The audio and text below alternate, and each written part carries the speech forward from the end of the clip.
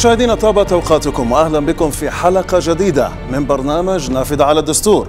في هذه الحلقة نسلط الضوء على أبرز مواد الباب الأول من هذا المشروع والتي تتضمن اسم الدولة وشكلها. كذلك الهوية واللغة العربية مصدر التشريع والجنسية. كذلك سنتناول العاصمة أي عاصمة الدولة والعدالة الاجتماعية والتنمية. كل هذا وأكثر. رفقة ضيوفي في هذه الحلقة الدكتور الهادي أبو حمرة والأستاذ أبو القاسم يوشع أعضاء الهيئة التأسيسية لصياغة مشروع الدستور. أهلا بكم.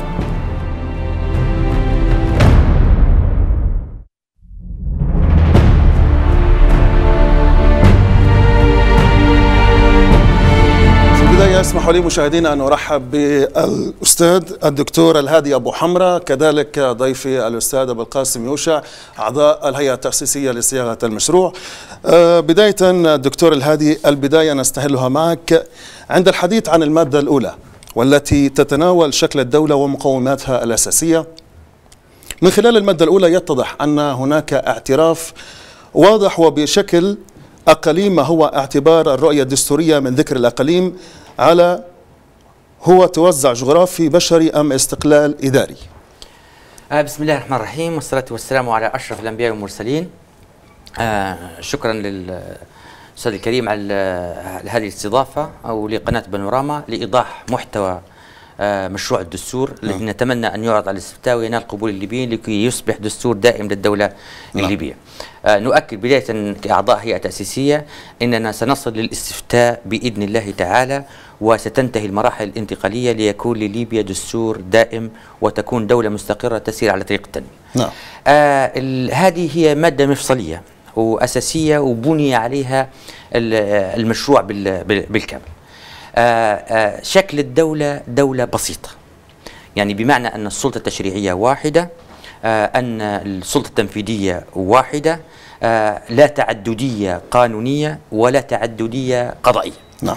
دولة بسيطة آه طبعا كان الخيار من الأول في طرح للدولة البسيطة وفي طرح للدولة المركبة أو الدولة الفيدرالية. آه فكان اتجاه الهيئة آه في اتجاه نحو الدولة الفيدرالية البسيطة آسف وتبني دولة بسيطة لكن دولة بسيطة مع وجود توازن سكاني جغرافي. نعم. دولة بسيطة مع وجود مجلس نواب ومجلس شيوخ، مجلس نواب مبني على تعدد على على عدد السكان مع مراعاة المعيار الجغرافي في الحالات التي يحددها القانون، ومجلس شيوخ مبني على المناطق الانتخابية الثلاث مع مراعاة المعيار السكاني بقدر. نعم. أيضا دولة بسيطة مع الأخذ في الاعتبار توزيع المؤسسات الدولة الليبية في أنحاء ليبيا بشكل يضمن العدالة المكانية ويضمن التنمية المكانية. نعم.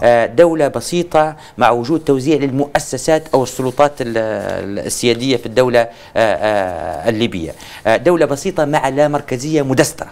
وبالتالي هي دولة بسيطة بكل معنى الكلمة لكن أيضا مع وجود نظام لا مركزي موسع مدستر قائم على مبادئ اللامركزية الأساسية نعم. اللي هو مبدأ التفريع ومبدأ التدبير إذا الحر أنت إذا أنت تؤكد بأنه لا يوجد هنالك ترسيخ لفكرة أبداً الأقاليم وما إلى ذلك. ابدا ابدا دولة بسيطة نظام الحكم المحلي فيها قائم على تقسيم البلاد إلى بلديات ومحافظات نعم. لكن المبدأ الأساس اللي بني عليه الدولة البسيطة هو استبعاد الطرح الفيدرالي لكن إيجاد بديل ليه وهو التوازن الجغرافي السكاني في بناء السلطة التشريعيه وفي اختيار رئيس الحكومة رأس السلطة التنفيذية. آه، رئيس الجمهورية آسف رئيس السلطة الحك- التنفيذية. أيضا في مسألة أخرى أيضا في هذه المادة وهي مهمة جدا. اسم الدولة هو الجمهورية الليبية. اسم نعم. الدولة هو الجمهورية الليبية. طبعا كان في طرح آخر بديل اللي هو آه، تسميتها بالدولة آه، ليبيا. لكن اسم الجمهورية الليبية يتضمن عدة معاني.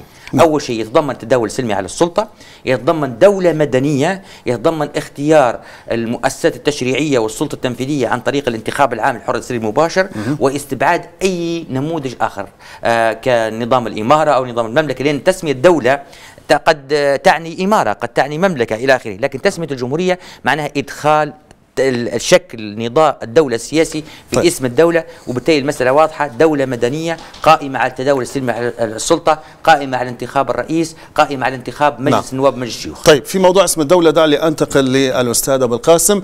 أستاذ أبو القاسم كذلك تصف المادة اسم الدولة آه، بالجمهورية الليبية. وهنا السؤال يأخذ منحيين. أولا إسقاط فكرة العروبة كونها جامعة جامعة للدول العربية وتحديد شكل نظام الحكم بالجمهوري.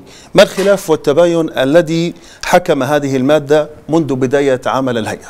آه، في البداية أشكرك أستاذي الإضافة هذه للاستضافة وأنا أتمنى كل القنوات آه، تحدوا حدكم آه، على الأقل نعرفوا المشاهد الكريم بفحوى الدستور.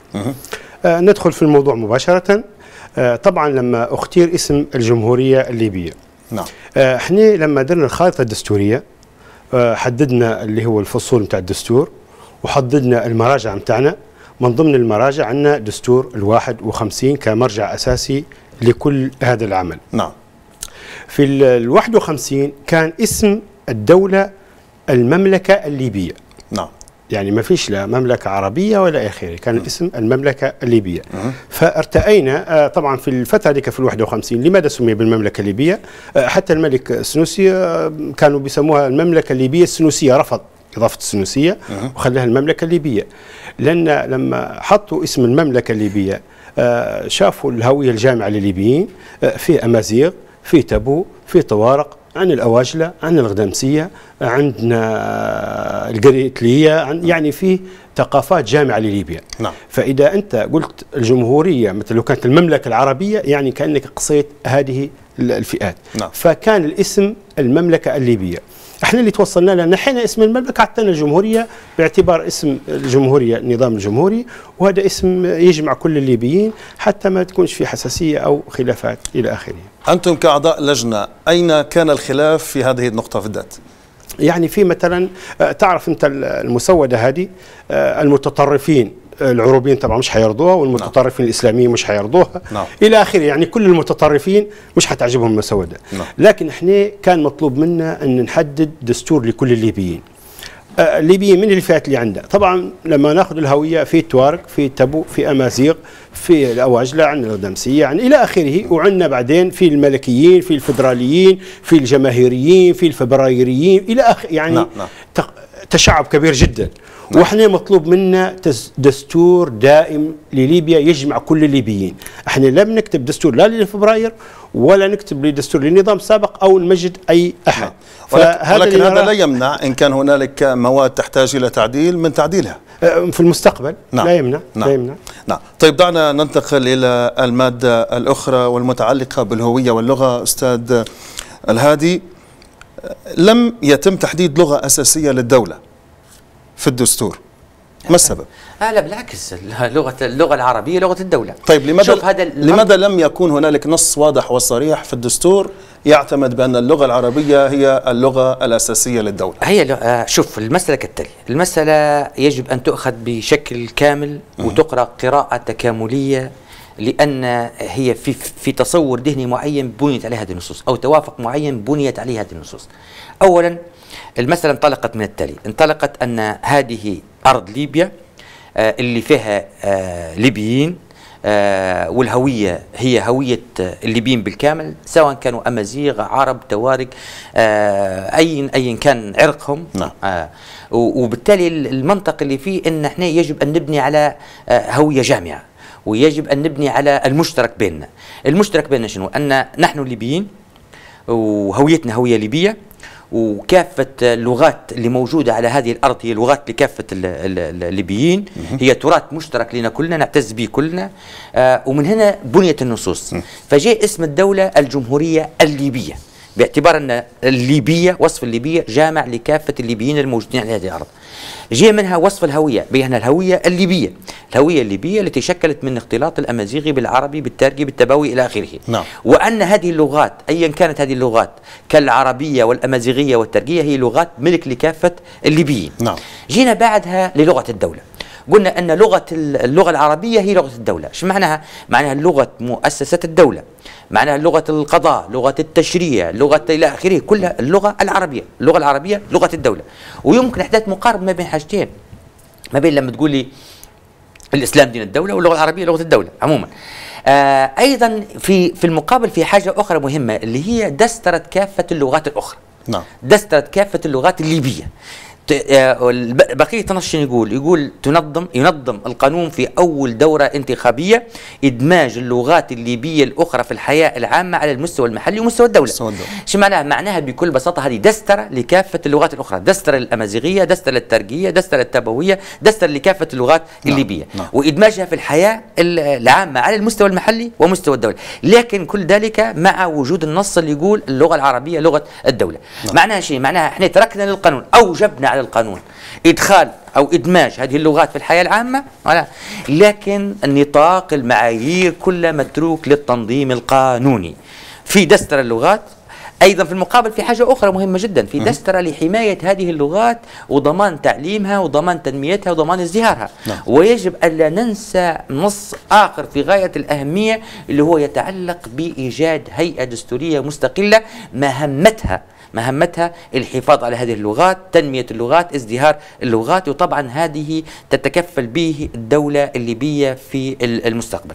القراءة المتكاملة شن تطلع؟ تطلع كالتالي تطلع أن اسم الدولة الجمهورية الليبية وهو اسم جامع لكافة الليبيين إن الهوية هي الهوية الليبية وهو هوية جامعة لكل الليبيين أن اللغات هذه لغات ليبية مش لا هي لغات محلية ولا هي لغات وطنية هي لغات ليبية وهي ملك لكافة الليبيين أن اللغة العربية لغة الدولة وأن ينظم القانون إدماج اللغات الأخرى في الحياة العامة على المستوى المحلي ومستوى الدولة ولكن هذا هو نعم. التوافق أ- الذي خرجنا به نعم. نعم. تاسيه وأعتقد اللي يجمع. الليبيين طيب. أعتذر على المقاطعة ولكن إيه. مع ذلك لا يوجد نص واضح وصريح يقول بأن اللغة العربية هي لغة الدولة. هي لغة الدولة. أستطيع إذا أتلو عليك المادة. طيب.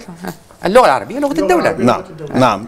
اللغة العربية تعد اللغات التي يتحدث بها الليبيون لا لا لا أو شوف جزء منهم لا شوف ومن بينهم العربية والأمازيغية والترجية نعم. نعم. والترجية والتبوية تراثا ثقافيا ولغويا ورصيدا مشتركا لكل الليبيين وتضمن الدولة اتخاذ التدابير اللازمة لحمايتها وضمان المحافظة على أصالتها وتنمية تعليمها واستخدامها. كمل. ولكن طب أكمل. طيب كمل. اللغة العربية لغة لغة الدولة, الدولة. طيب أيوة. اللغة العربية لغة الدولة أعتقد إنها صياغة قوية جدا نعم. معناها اللغة الدولة مؤسسة الدولة لماذا جاءت في نهاية المادة؟ لا لا لا لا آه هذا هذا ما يتسلسل في المادة أول نعم. شيء نص المادة هو الهوية واللغة نعم. نص المادة هو الهوية. فالشطر الأول أو الفقرة الأولى من المادة تحدد الهوية هوية الليبيين بعد تحدد الموقع الجغرافي للدولة الليبية بعد تحدد أن هذه اللغات آه على سبيل المثال لا على سبيل الحصر وتوصف هذه اللغات بأنها تراث مشترك لكافة الليبيين ثم تأتي بعد ذلك وتقول اللغة العربية لغة الدولة ثم تأتي في عجز المادة وتقول وجوب تنظيم أو إدماج هذه اللغات الأخرى في الحياة العامة على المستوى المحلي ومستوى الدولة أعتقد إن هذا هو دستره لكافة اللغات الليبية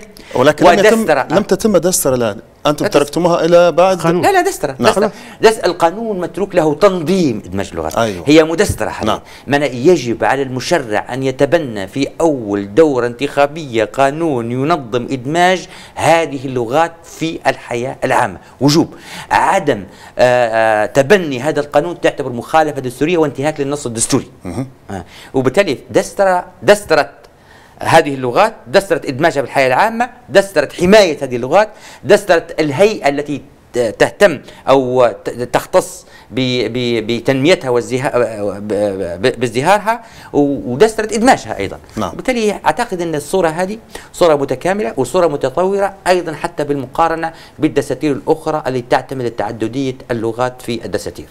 طيب. إذا انتقلنا إلى النقطة الثالثة آه، مع الأستاذ أبو القاسم والمادة الثالثة المتعلقة بالعاصمة موضوع العاصمة كان شائكا نوعا ما داخل الهيئة وأخذ آه، أخذ وقت طويل ربما أكثر من مواد أخرى ما السبب؟ آه أستاذي الكريم خلينا نرجع شوية للهوية وبعدين ننطلق طيب. العاصمة طيب، لأن في تفضل. شيء مهم جدا نعم تفضل لما عرضت المادة هذه اللي هو ذكروا اللي هو تعد اللغات التي تحدث بها الليبيين أو جزء منهم من بينها. نعم. ليش قلنا جزء منهم؟ من بينها. آه طبعا في اللي لغط اللي طرف الشارع لا من بينها قصدكم بتجيبوا اليهود إلى آخره ممكن أنت سمعت نعم، هذه نعم. ليش قلنا من بينها؟ إحنا الإعلان الدستوري ألزمنا بالتوافق مع التبو والطوارق والأمازيغ. هذا الإعلان الدستوري. نعم. لكن في ليبيا في مكونات أخرى وجونا للهيئة التاسيسيه عندنا مثلا هوية الغدامسية طبعا من غدامس يعني. نعم. آه عندنا الأوجلية مثلا. آه، جابوا لنا آه، وثيقة كاملة قالوا حتى إحنا نبغوا ندستروا لغتنا. نعم. آه، جونا الجريتليه قالوا حتى إحنا نبغوا ندستروا لغتنا. جتنا من غات اللي هو آه، الهوسة. عندنا ليبيين يتكلموا بالهوسة وعندهم علاقات من لغة الهوسة لغة معروف. ف يعني إذا كنا بندستروا 14 اسم مشكلة. نعم. فعشان هيك جينا قلنا أو جزء منهم من بينها. فهذا اللي نعم. من بينها باش نحل اللغط لكي نتاع لكي لا يسقط حق البعض حق وكذلك البعض نعم. إيه إحنا نعم. بنكفلوا هوية جامعة لكل الليبيين نعم. أي ليبي يرى أن عنده لغة خاصة به يعني المادة دي تشمله نعم فعشان هيك قلنا جزء منها من بينها طيب. نرجع للعاصمة نعم المادة الثالثة من العاصمة. إيه. مشروع الدستور إيه كويس طبعا إحنا الدستور آه، نشبح فيه في التلفزيون يقرأ هيك قراءة عامة هيك والمفروض الدستور ده يقرأ قراءة كاملة نعم طبعا إحنا آه، مهمتنا بنديروا دستور لكل الليبيين باش نكون واضحين. من حق أي شخص يطلب ما يشاء لكن على النور وفوق الطاولة ولا مقاطعة إلى إلى آخره.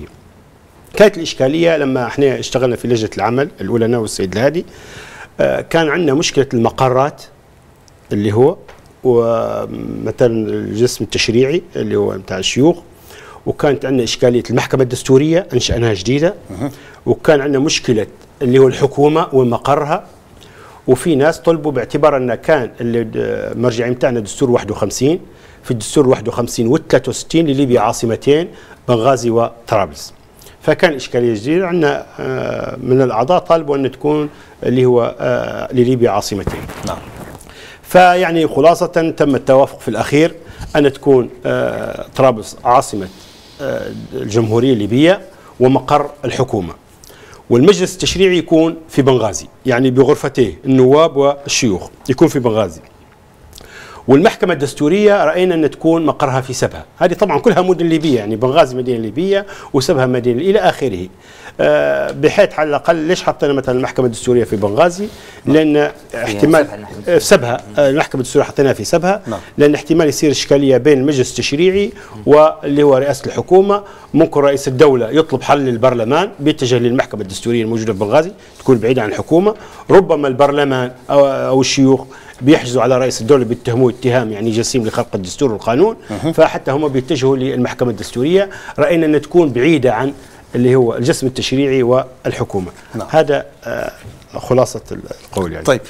كان هناك مقترح آه، جعل عاصمتين للدولة الليبية. آه، كيف أتت فكرة هذا المقترح أستاذ عبد الهادي؟ هي ما خلي وما السبب؟ السؤال في محله أستاذ الكريم. أول حاجة كيف ما قال الأستاذ بالقاسم اللي هي يجب القراءة المتكاملة للنص.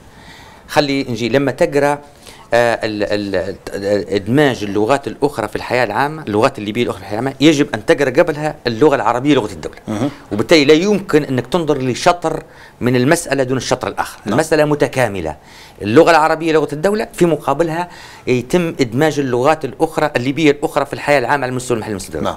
أيضا في العاصمة فالعاصمة يجب أن تقرأ قراءة متكاملة العاصمة هي طرابلس لكن يجب في نفس الوقت تعرف وتقرأ النص المتعلق بأن آه، بنغازي هي مقر للسلطة التشريعية يعني هي العاصمة التشريعية مقر للسلطة التشريعية بغرفتيها مجلس النواب من الشيوخ ويجب أن تقرأ أيضا أن سبها مقر المحكمة الدستورية ويجب أن تقرأ أيضا في, في أي حاجة-؟ لا، هذا في أي مادة؟ آه، هذا في مادة في المجلس الشيوخ في مقر الشيوخ، مقر. الشيوخ. نعم. آه وأيضا يجب أن تقرأ حاجة أخرى تقرأ أن في وجوب توزيع مؤسسات الدولة جغرافيا آه يعني السلطه التشريعيه تتولى توزيع هذه المؤسسات جغرافيا في انحاء البلاد. هذا يضمن شنو؟ يضمن أيضا آه في توازن وفي بديل لفكرة العاصمتين وغيرها. ليش ال- العاصمتين؟ آه في ال 51 صارت نفس الإشكالية. نعم. وصارت مشكلة في دستور 51 في الجمعية التأسيسية وصار نزاع هل طرابلس العاصمة أو بنغازي العاصمة أو غير ذلك. طبعا حلت هذه المسألة حلها الملك ولا. والملك آه، حلها بالتدخل و- آه، الآتي للمملكة الليبية عاصمتان طرابلس وبنغازي. طبعا إحنا عادت لنا القصة من جديد في الهيئه التاسيسيه وصار هذا النزاع من من جديد. وصار هذا التدخل هل طرابلس العاصمة هل بنغازي لو سمحت ولا هل بنغازي العاصمة إلى آخره. فجينا قلنا إحنا يجب أن تكون للبلاد عاصمة واحدة. يجب أن تكون للبلاد عاصمة واحدة. ليش يجب أن تكون البلاد عاصمة واحدة؟ لأنها بكل بساطة رمز لوحدة البلاد. ولأن تعدد العواصم في ترميز لتعدد الشرعيات. ولأن احتياط لأي مستقبل يجب أن ما يهمناش ونقول لك حاجة مهمة ما يهمناش إحنا أغلبية الظاهرية تكون العاصمة طرابلس أو العاصمة بنغازي أو العاصمة سرت أو العاصمة هون المهم تكون البلاد عاصمة واحدة. لكن أغلبية أعضاء الهيئة اتجهوا أن تكون العاصمة طرابلس. لكن في مقابل ذلك المسألة موازنة بمسألة بحاجة أخرى في توازن موازنة بأن المؤسسات موزعة جغرافيا وبأن بنغازي هي العاصمة التشريعية هي مقر مجلس النواب ومجلس الشيوخ. وبالتالي تم تجاوز فكرة العاصمتين ولا نعم. وتم تجاوز ما قد يترتب عليه من ترميز لتعدد الشرعيات. ما أفهم من كلامك بأنه تم تجاوز فكره العاصمتين من خلال توزيع المؤسسات. توزيع المؤسسات. نعم. أو ونص على أن السلطة التشريعيه مقرها ببنغازي. طيب ألا ترى بأن التوزيع فكرة التوزيع أحيانا ربما تأتي بنتيجة عكسية على أداء هذه المؤسسات؟ نعتقد. طبعا أنت فكرة التوزيع. نعم. إحنا قبل لا تتكلم على فكرة التوزيع شوف التداخل في نظام الحكم اللي خدناه شوف التداخل بيناتهم يعني. نعم. إذا كان في تداخل قوي جدا ممكن تقول لنا بعيد إلى آخره. فرضا إحنا اخذنا النظام الشبه الرئاسي. آه، كانت الإشكالية في في الحكومات السابقة وفشل 17 فبراير في الحكومات. نعم. الحكومات كانت تجي محاصصة. يعني حزب كذا يبي آه، وزارة المالية وحزب كذا يبي الدفاع منطقة الفلانية تبي.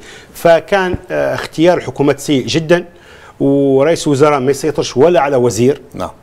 فكانت الفكرة أن لما ينتخب الرئيس الدولة مباشرة من الشعب آه هو يحط رئيس الوزراء من كيفه ويتشاور معه ويحط الوزراء ويتم القسم أمام رئيس الدولة ويشتغلوا نعم. من غير إعطاء الثقة من البرلمان. هنا في فصل كبير جدا بين السلطتين يبدأ عبارة عن البرلمان شيوخ عندهم مهمتهم فقط تشريع أو مساءلة الحكومة أحيانا. فيعني أنا ارى ما عادش في تشابك بيناتهم ما فيش داعي إنه يكون بيض بعدين كلها مدن ليبية وشنو هي بنغازي في الطيارة بساعة واحدة هي؟ ما فيش إشكالية كبيرة جدا. نعم. وفي التقنية اللي موجودة التقنية موجودة بالفيس وبالإنترنت معناها ما فيش مسافات يعني. نعم. نعم. سوف نناقشها في وقتها ولكن نعم.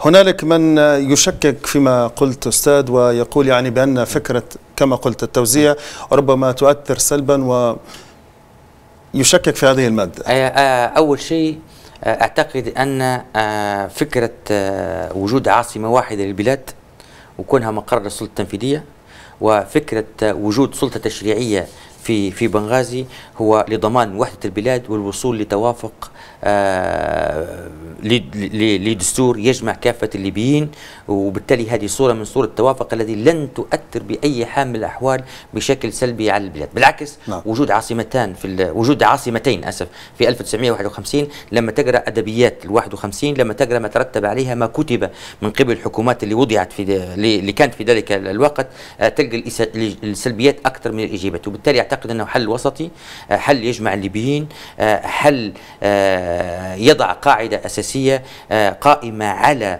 آه الموازنة ما بين وحدة العاصمة عاصمة واحدة وما بين توزيع المؤسسات. وراه في توزيع المؤسسات صورة من صور الضمان التنمية المكانية. طيب. خاصة لما تعلق الأمر بمؤسسات وشركات خدمية وغيرها. طيب نذهب إلى المادة الخامسة من المشروع والتي تتضمن عالم الدولة والنشيد. في البداية كان هناك شبه إجماع على عالم الاستقلال. لماذا أحيل هذا الموضوع لقانون عبر مجلس النواب المنتخب ما بعد الدستور؟ آه المسألة ممكن نظر التالي تطور التالي. آه في المشروع الأول كان التالي. كان في علم ونشيد الاستقلال المادة الرابعة والمادة الخامسة لكن في المقابل كان في حكم خاص يوجب طرح العلم والنشيد للاستفتاء قبل الدورة التشريعية الثانية. وبالتالي صار التوافق التالي. صار التوافق أن النص العلم والنشيد آه علم ونشيد الاستقلال لكن في مقابل طرح على الاستفتاء قبل الدورة التشريعية الثانية. بعدها تطور هذا التوافق في الهيئة التأسيسية وقلنا أن في نصين. النص الأول اللي هو النص العام اللي هو يحدد قانون عسب علم الدولة ونشيدها بقانون يصدر من مجلس النواب بأغلبية الثلثين لكن يجب أن يقرأ أيضا في مقابل نص آخر اللي يقول يستمر العلم يستمر العمل بالعلم والنشيد النافذين في المادة الأخيرة مع مراعاة المادة الخامسة. وبالتالي صار هذا التوافق أيضا لأن كان في اتجاهين في الحقيقة في اتجاه يطالب ب- بدسترة العلم والنشيد الاستقلال فقط وفي اتجاه يطالب بعلم ونشيد جديد. وبالتالي إحنا نبي نبي نجمع الليبيين على كلمة واحدة نبي نبني على المشترك نبي أيضا آه، ندخل كافة الليبيين في هذا ال- ال- المشروع نعم. اللي هو موجه لكافة الليبيين ايا كان توجهاتهم السياسية وبالتالي كان هذا التوافق. نجي حتى في في ال- في المقارن. في المقارن في دول كثيرة تحيل العلم والنشيد إلى إلى إلى, إلى, إلى قانون. من من ضمنها دول عريقة جدا كيف روسيا. روسيا لما يجي الاتحاد القانون الاتحاد الروسي يحوله إلى قانون يحدد علم الدولة والنشيد بقانون. الكويت يحدد علم الدولة والنشيد بقانون. وبالتالي المسألة في عدة قوانين قد تصل أعتقد ل 40 أس- دساتير. قد تصل ل 40 دستور يحدد علم الدولة ونشيدها بقانون. وبالتالي لن تشكل إشكالية. المشكلة شنو؟ المشكلة أن هناك من يحاول إضفاء القدسية على مسائل متغيرة و و ويؤدي بهذا ال- ال- الإضفاء القدسية إلى عرقلة بناء الدولة الليبية الجامعة لكافة الليبيين. اعتقد ان حل وسطي أيضا امتياز ولكن يجب أيضا ملاحظة حاجة أن نراه نص المادة الخامسة اللي فيه يحدد علم الدولة ونشيدها بقانون يصدر بأغلبية ثلثي أعضاء مجلس النواب. فيه نعم. مادة أخرى تقول مع مراعاة المادة الخامسة يستمر العمل بالعالم والنشيد النافذين. نعم. طيب بالعودة للدساتير السابقة أستاذ أبو القاسم هنالك مادة مفردة لكل من العالم تحديدا شكله آه، ولونه وأبعاده للنشيد كذلك. آه، والعطل والمناسبات والرسمية وم- وممادها أو تحدد ضمن قانون. ما الفكرة في جمعهم بمادة واحدة والخروج من خلافهم وتحول لاحقا للبرلمان الذي سوف يأتي؟ بسم الله الرحمن الرحيم. آه طبعا المادة تقرأ كاملة. إحنا خلينا نتفاهموا على أساسيات. أول حاجة أن هذا جهد بشري ممكن يخطئ ممكن يصيب. نعم. الشيء الثاني إحنا أعطينا فرصة للأجيال القادمة التعدل كيف ما تشاء. لأن هذا كيف يعدلوا. ربما هذا اجتهادنا إحنا ربما صحيح ربما خطأ يعني. نعم. آه لكن أعطينا فرصة للأجيال القادمة اللي هو آه تشوف آه التعديلات المناسبة. مثلا أنا عن نفسي لا أرى أن علم أو نشيد هو اللي بيبني دولة ربما يعدل. نعم. وربما بعدين في المستقبل يديروا زي ما قال داروا أجدادنا داروا مسابقة للنشيد واللي جاب الترتيب الأول آه، انحط. نعم. ربما يديروا مسابقة للعالم ليش نضيقوا على الأجيال القادمة. نعم. فالإشكالية اللي موجودة إذا ذكر في دستور لا يمكن أن يعدل. نعم. إلا بتعديلات ص- صعبة جدا خلينا نكمل. بعدها عندنا حاجة ثانية الأعياد الرسمية. يعني ممكن يديروا عيد الاستقلال ممكن عيد الدستور إلى آخره. أنت ما تقدرش تدير نص المادة تعدد الأعياد اللي عندك. لا أتركناها للقانون. ال- الأوسمة والأنواط وكلها تعد بقانون. يعني معظم دساتير العالم تحيل الأشياء هذه إلى قانون لأنها مش أشياء تبني دولة. نعم. يعني عطلة رسمية ما تبنيش دولة. عالم ما يبنيش دولة. نشيد ما يبني دولة. نعم. فأعطينا فرصة للأجيال القادمة يعدلوا كما يشاءوا يعني. نعم. طيب حديثنا يطول ويتواصل ولكن مع هذا الفاصل ونواصل إن شاء الله. إن شاء الله.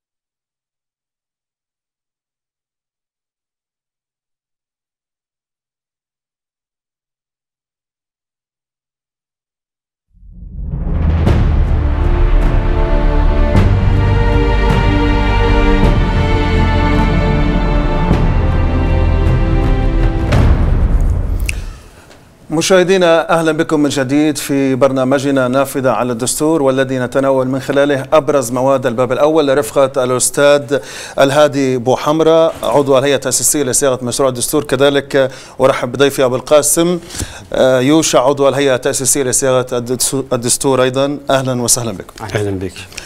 بالعودة إلى مواد الدستور. هنالك أيضا خلاف حول المادة السادسة وهي مصدر التشريع مصدر التشريع في الدولة. التي طبعا هنالك تناولت فيها المادة تقول بأن الإسلام دين الدولة والشريعة الإسلامية مصدر التشريع. كان هناك جدل أستاذ الهادي حول اعتبار الشريعة الإسلامية مصدر حصري ووحيد أو مصدر التشريع الأفكار التي كان كل طرف يدافع عنها على سبيل إنتاج هذه المادة. لو اعتمدت نعم لو اعتمدت الشريعة بأنها مصدر حصري ووحيد للدولة ما هي مخاوف الطرف الآخر؟ أولا شوف الخلاف راهو لما ننظر له بعمق وبوضوح هو خلاف لفظي أكثر من كونه خلاف له أبعاد أخرى يعني ذات نتائج أو نتائج مادية ملموسة متعلقة بالتشريع. أولا لما نقول الشريعة الإسلامية مصدر التشريع أو مصدر رئيسي للتشريع أو مصدر وحيد للتشريع أو مصدر للتشريع. نعم. نتيجة شيء النتيجة أن الشريعة الإسلامية بكل بساطة فيها نصوص وفيها أحكام. نعم. الشريعة الإسلامية فيها نصوص وهذه ثابتة لا تتغير بتغير الزمن والمكان. المكان. نعم. وفيها أحكام اللي هي استنباط من هذه النصوص والأحكام متغيرة. يعني بمعنى آخر فيها نص فيها فيها ثوابت وفيها متغيرات. طيب. آه لا أحد لا أحد نهائيا يقول بأن الاجتهادات الفقهية ملزمة. لا أحد يقول بأن في إلزام لاجتهاد فقهي معين أو لمذهب فقهي معين. وبالتالي إحنا لما نقول الشريعة الإسلامية مصدر التشريع شو معناها؟ معناها لا يجوز بأي حال من الأحوال تبني قانون مخالف لأصول الشريعة الإسلامية وتوابتها. لكن مع ذلك يجوز تبني قانون يستند لأي اجتهاد فقهي يستند لأي مذهب فقهي يستند لأي قانون في العالم. وبالتالي الشريعة الإسلامية حتى مع هذه الصياغة تستوعب كافة التجارب الإنسانية. نعم. تستوعب كافة القانون القوانين المقارنة. نأخذ من أي قانون؟ من أي نظام قانوني من أي دولة لكن بشرط عدم مخالفة أصول الشريعة الإسلامية وتوابتها. نعم. مسألة أخرى مهمة جدا. الشريعة الإسلامية لما نجيش نقول نقول مصادر الحكم فيها شنو؟ مصادر الحكم فيها المصالح المرسلة فيها الاستحسان فيها القياس إلى آخره. نعم. وبالتالي المصالح المرسلة بشرائطها الشرعية والإستحسان أيضا يستوعب كافة التجارب الإنسانية وكافة الأنظمة المقارنة. لذلك لما نجي تخيل آه، لو سمحت أعطيني فرصة في السؤال نعم. لو نجي تقول الشريعة الإسلامية مصدر رئيسي للتشريع. تمام. شو معناها معناها في مصادر مصدر رئيسي وفي مصادر ثانويه المصدر الرئيسي هو الشريعة الإسلامية. المصادر الثانويه هي القوانين والأخرى أو المصادر الأخرى. في النهاية بكره حينتهي الأمر ليش؟ حينتهي الأمر أنه لا يجوز تبني قانون مخالف لأصول الشريعة الإسلامية وتوابتها نعم. نفس الصياغة هذه. اللي اللي اللي ملزم شنو هو؟ اللي يجب ان ان ان, أن نحترمه وألا نخرج عنه هو أصول وتوابت الشريعة الإسلامية. أما المتغيرات فهي غير ملزمة. من هنا تأتي سعة الشريعة الإسلامية. أيضا يجب أن ننظر للمسألة من ناحية أخرى. من ناحية أن هذا النص له خطاب موجه للمشرع. خطاب موجه للسلطة التشريعية. باهي خطاب موجه للمشرع المشرع يقدر عند سلطة تقديرية هل هذا القانون اللي بتبناه مخالف للشريعة الإسلامية أو يتفق معه؟ طبعا باستشارة أهل الرأي والشرط أهل الفقه إلى آخره. تبنى قانون. تبنى قانون معين وفي اللي يقول لك إنه مخالف للشريعة الإسلامية. الحل شنو هو الحل؟ أن نطعن قدام المحكمة الدستورية. المحكمة الدستورية لن تحكم لن تحكم بعدم الدستورية إذا كان مخالف للاجتهاد الفقهي أنت تحكم بعدم الدستورية إذا كان مخالف لأصول الشريعة الإسلامية وتوابتها. اذا في النهاية المسألة تنتهي بالتالي. تنتهي أن نراه الشريعة الإسلامية مصدر رئيس للتشريع أو الشريعة الإسلامية مصدر للتشريع راه لا إلزام إلا للأصول والتوابت. أما الاجتهادات لا إلزام لها. الاجتهادات المشرع حر في تبني ايا منها. وبالتالي سعة الشريعة الإسلامية تسمح بتبني كافة التجارب الإنسانية كافة القوانين المقارنة بشرط عدم مخالفة هذه الأصول التوابت أيضا في مسألة أخرى مهمة جدا خلينا نقول عليها. شوف إحنا ميزنا ما بين حاجتين في الشريعة الإسلامية. آه المسألة ذكرت في نص المادة السادسة اللي هو خطاب موجه للمشرع اللي هو نقول أن بكل بساطة المشرع يجب أن يعتمد الشريعة الإسلامية كمصدر للتشريع لكن في مادة أخرى شو قلنا؟ في مادة أخرى في هيئة البحوث الشرعية فيما يتعلق بالفتاوي في إطار مؤسسه الفتوى والذي لا علاقة لها بنص المادة السادسة، لا علاقة لها بنص المادة السادسة، مسألة أخرى مختلفة. قلنا إن في حالة إصدار الفتاوي يراعى المذاهب السائدة في البلاد، الموروث الفقهي السائد في البلاد. راهو مراعاة الموروث الفقهي السائد في البلاد ما يتعلق بالفتاوى الفردية. فردية. لكن فيما يتعلق بالتشريع المسألة مفتوحة. المسألة مفتوحة بشرط مراعاة الأصول والثوابت. كون الشريعة الإسلامية مصدر للتشريع الأمر لا يخرج من أن المشرع ملزم بمراعاة الأصول والثوابت دون أن يكون ملزما ملزما أسف دون أن يكون ملزما بتبني الاجتهادات الفقهية. نعم.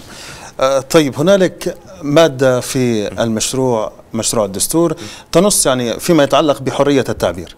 تمام. تمام أنتم ضمنتم حرية التعبير دون قيد أو شرط. كويس. هل وجدت هذه العبارة؟ لكن درنا درنا حظر نعم. تكفير. خلي خلي نعم. معلش. درنا حظر تكفير. آه، طبعا إحنا لما اخترنا الشريعة الإسلامية مصدر تشريع. في بعض الدول تقول القران زي معنى القرآن شريعة المجتمع نعم، كلام هكذا. نعم. هو شو معنى الشريعة الإسلامية؟ معناها القرآن والسنة. لأن السنة تفسر القرآن. مثلا إحنا قعدت في نقاش مع بعض الناس بقى يقول لك فرضا يتهكم يقول لك بقى مثلا في القرآن ما فيش سيمافر وما فيش كلام يعني. في حديث تقول أنتم ادرى بشؤون دنياكم يعني. نعم. فالشريعة في الحاجات التشريعيه لكن شؤون الدنيا أنتم ادرى بشؤون دنياكم. إلى آخره. إحنا باش ما نخلوش البلاد في فوضى نفترضوا أن البرلمان أقر قانون يخالف الشريعة الإسلامية. لأن سمعت أن الدستور بتاعكم هذا بيجيب الشرب. إلى آخره يعني. نفترضوا البرلمان أقر قانون يخالف الشريعة الإسلامية. باهي من اللي بيحكم بالبطلان؟ من بيحكم بالبطلان باش ما تكونش الدولة سائبة نعم. عندنا المحكمة الدستورية هذه من تخصصها اللي هو اللي هو دستورية ال- القوانين يعني تشوف القانون إذا كان خالف الشريعة الإسلامية تبطله. به من اللي بيرفع القضية؟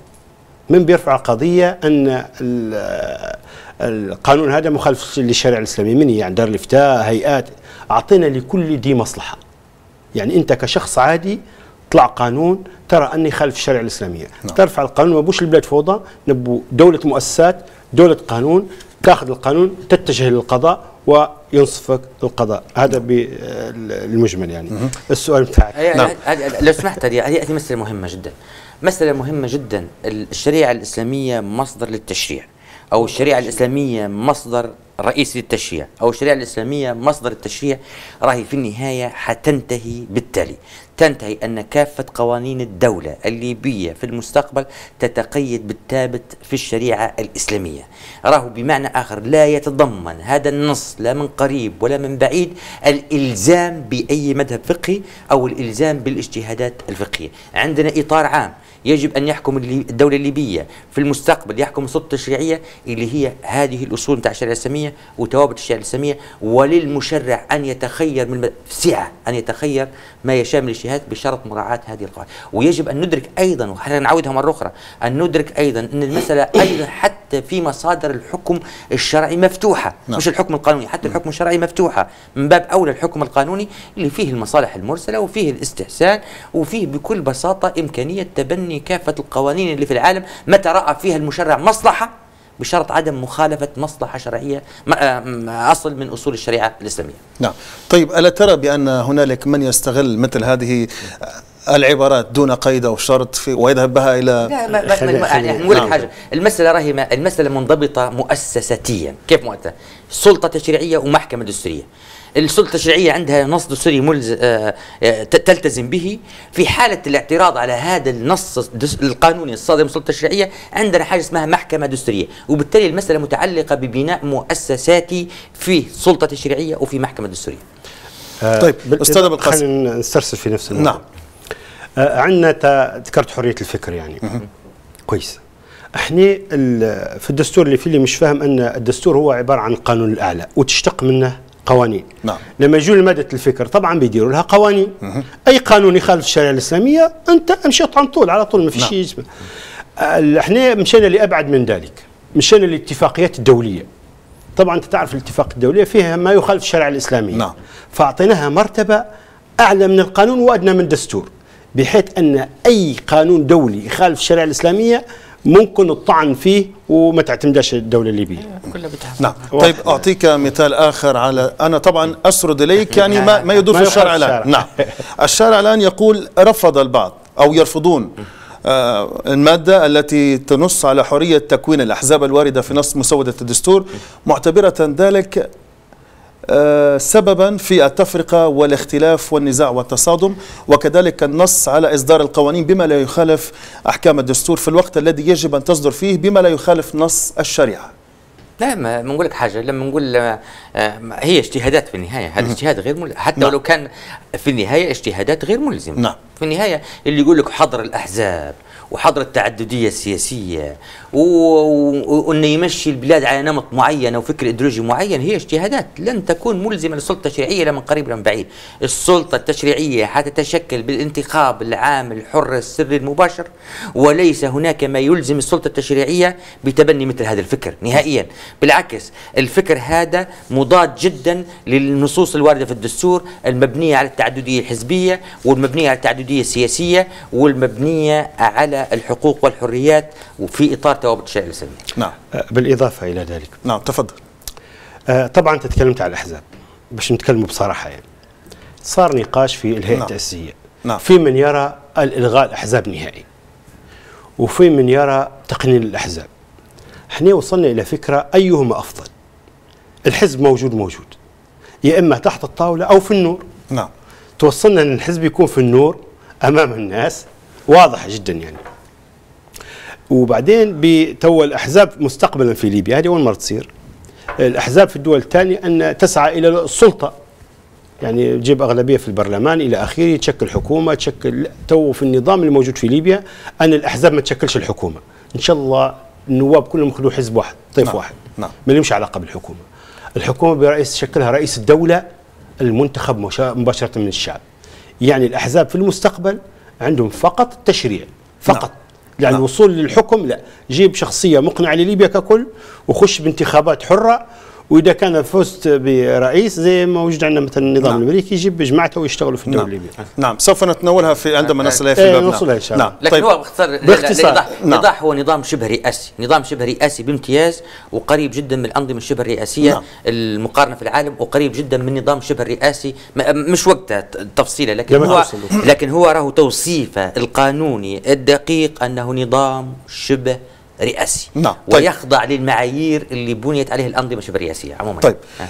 ننتقل إلى المادة العاشرة والمتعلقة بالجنسية طبعا بالنظر لموضوع الجنسية وضعت شروط للحصول عليها وجاءت بصيغة مخاوف ربما عندما تطلع عليها وكأن هنا كأنها مخاوف كالمصلحة العامة والأمن الوطني والمحافظة على التركيبة السكانية كذلك التعداد وسهولة الاندماج ولم تحدد كيفية الحصول على الجنسية كويس خلينا ن- نعطي فكرة عامة ونترك الكلام للأستاذ نعم،. نعم. لكن المسألة كالتالي شوف القراءة.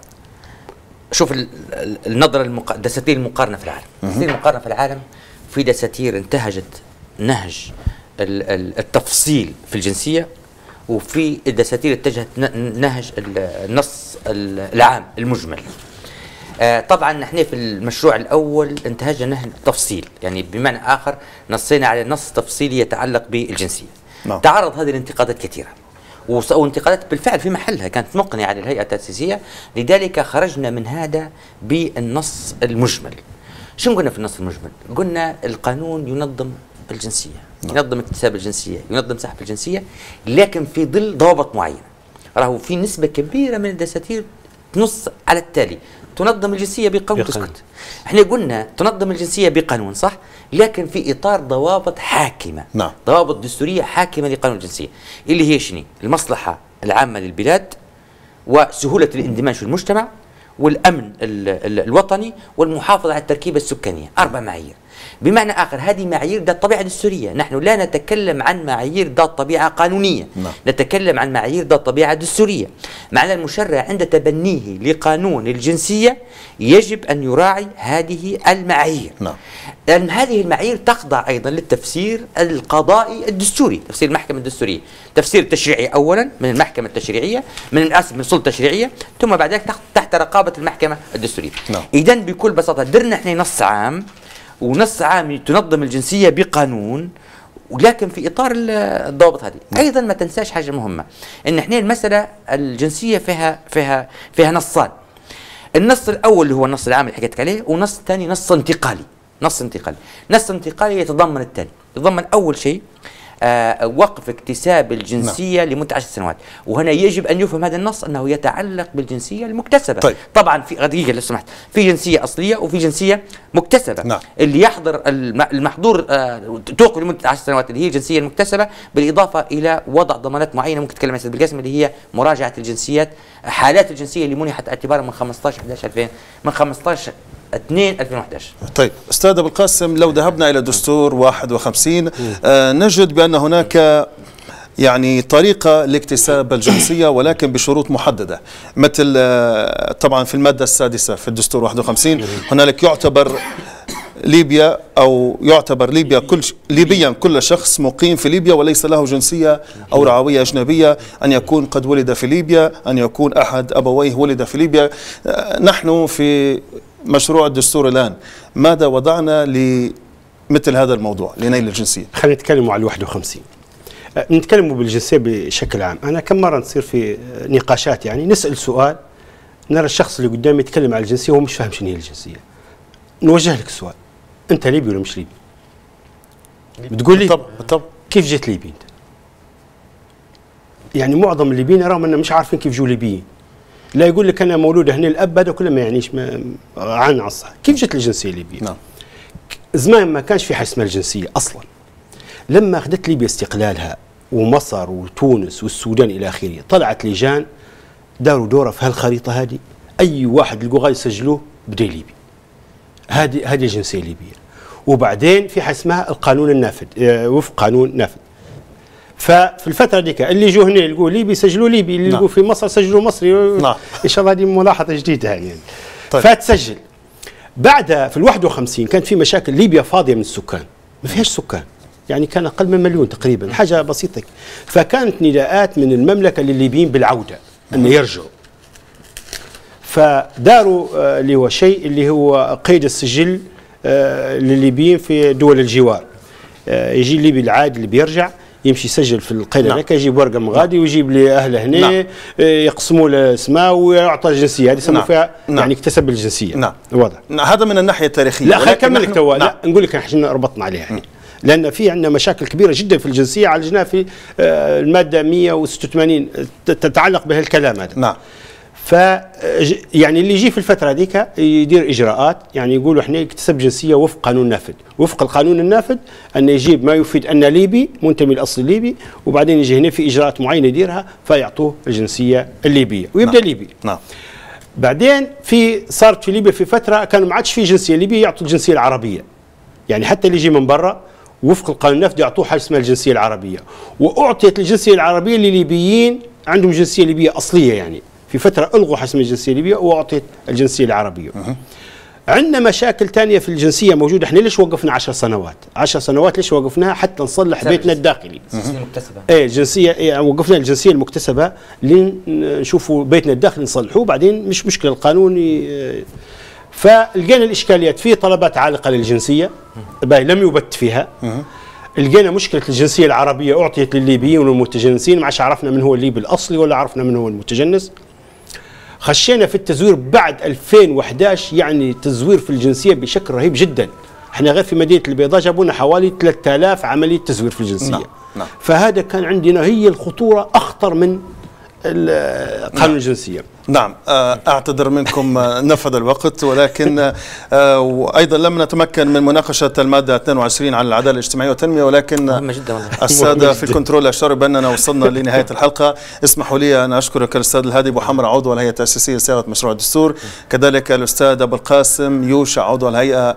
كذلك أشكركم على حضوركم معنا اليوم. كذلك الشكر موصول لمشاهدينا الكرام وحتى الملتقى في حلقة جديدة من برنامج نافذة على الدستور. دمتم في أمان الله. شكرا سريعة كلمة